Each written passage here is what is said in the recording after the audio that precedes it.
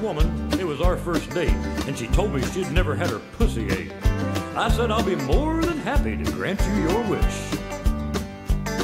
So she pulled up her dress, spread out her thighs, and boy did I ever get a big surprise.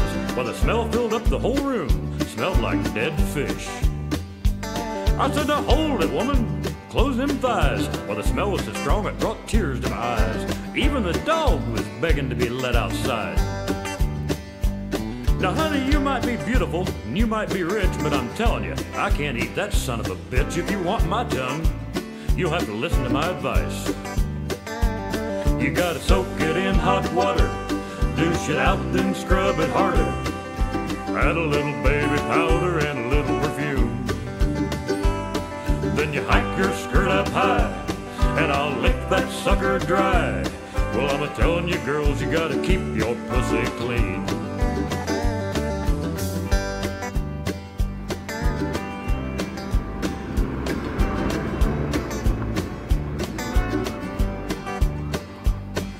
Pulled into a truck stop just outside of town when here come this woman wearing a long evening gown.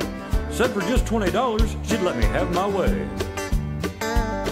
But the closer she got, the stronger the smell. I told that woman to go straight to hell. But before she left, I had one more thing to say. You gotta soak it in hot water, douche it out, then scrub it harder. Add a little baby powder Then you hike your skirt up high, and I'll lick that sucker dry. Well, I'm a telling you, girls, you gotta keep your pussy clean.